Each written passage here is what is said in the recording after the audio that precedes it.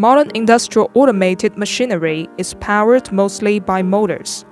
The torque generated by a motor in operation provides driving force for conveyor belts, gears, chains, and other mechanical components.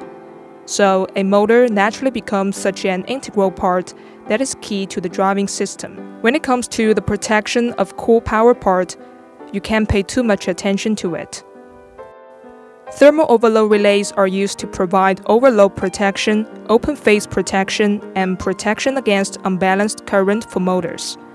And they can also avoid heating in electrical equipment.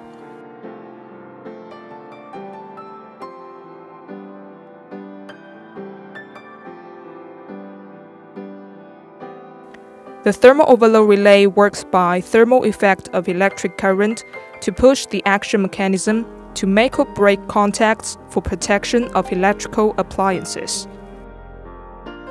A thermal overload relay consists of a thermal element, action mechanism, bimetallic sheets, contacts, a reset button, etc. To use the relay, you need to connect the heating element in series with the main circuit of the motor and let the normally closed contacts in tandem connection with the control circuit of the motor. When the motor is running normally, the heat produced by the thermal element will bend bimetallic sheets, but it's not adequate to trigger the contacts of the relay. Once the motor is overloaded, the bending degree of the bimetallic sheets increases to push the guide plate to separate the normally closed contacts. Now that the control circuit of the motor has been cut off, the motor is put under protection against electrical faults. There is a buckle on the relay to be inserted into the hole on the contactor.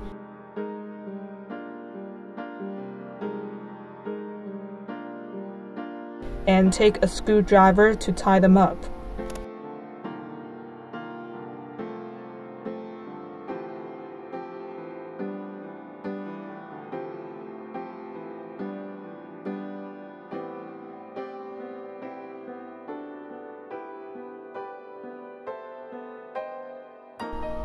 To further make sure the two devices are securely connected, we will use a multimeter to test them.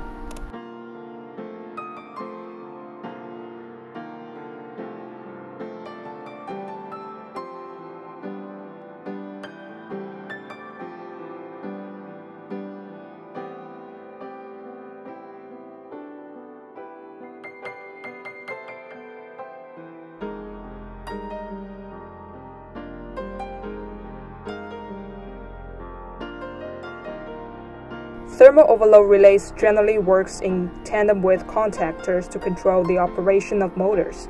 The wiring is not complicated. What you need to do is connect the input terminals of the relay to the output terminals of the contactor. The three-phase power supply is connected to the input of the contactor to power the system on, and the output of the relay is wired to the motor. You can select between normally open or normally closed contacts on the relay to control the coil of the contactor. Here we'll use the normally closed contacts. The hotline is wired to one of the normally closed contacts and the other one is wired to the coil of the contactor. And a blue wire goes from the contactor to the power supply so that a circuit is formed. Let's see how it works.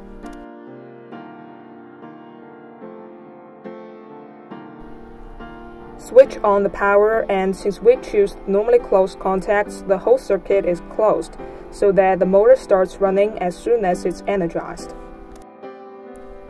The red button is to stop the relay. Long pressing on it will break the circuit and the motor is de-energized.